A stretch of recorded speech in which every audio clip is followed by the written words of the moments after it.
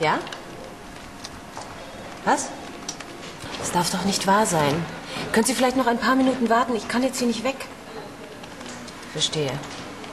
Natürlich. Ich, ich bin in einer halben Stunde da, ja? Bis gleich. Dieser Mist. Das Interview. Sag mal, Andrea, traust du dir ein Interview zu? Äh, klar, wann? Jetzt gleich?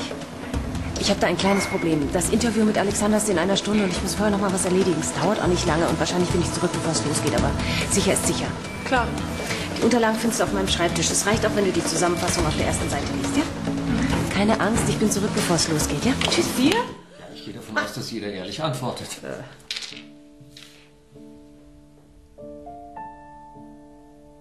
Okay, es ist schon ganz schön spät. Wir gehen lieber nach Hause, okay? Du gehst nirgendwo hin. Ich sehe doch, was hier läuft. Steve hat auf vier getippt. Dein Weichei auf null und du auf zwei. Womit du nämlich genau richtig liegst. Was? Weil du von zwei Personen hier im Raum die Antwort gekannt hast. Isabel, ich habe noch nie was mit deinem Mann gehabt. Ich kotz gleich. Könnt ihr einmal ehrlich sein? Jetzt vielleicht? Isabel, jetzt reicht's. Ich bin dir noch nie fremd gegangen. Das habe ich einmal gemacht in der achten Klasse.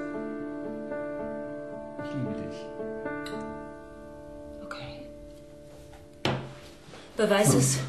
Mir so leid. Das ist zu weit. Zu weit? Wie weit würdest du gehen, um die Wahrheit herauszufinden? Es ist ganz einfach.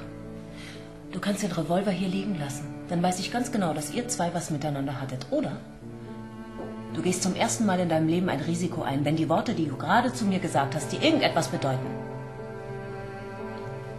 Das wird mir meine Frage zwar nicht beantworten, aber ich weiß genau, wie du zu mir stehst.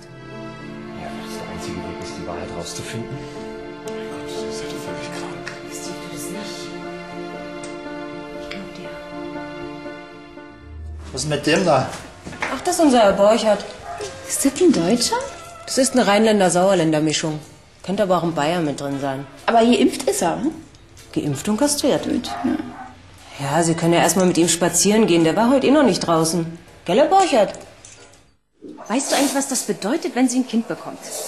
Dann hat sie überhaupt kein Geld mehr für uns. Dann muss sie das für Windeln und Krippe und Zahnarztbesuche und so einen Scheiß ausgeben. Und wir, wir haben überhaupt keinen Job mehr. Wo soll ich denn dann meine Schuhe herkriegen? Entspann dich doch mal ein bisschen. No, wait a minute. I may work in stats, but I'm a trained field agent. Angela was my friend, so don't think you're the only one that has a stake in getting these guys.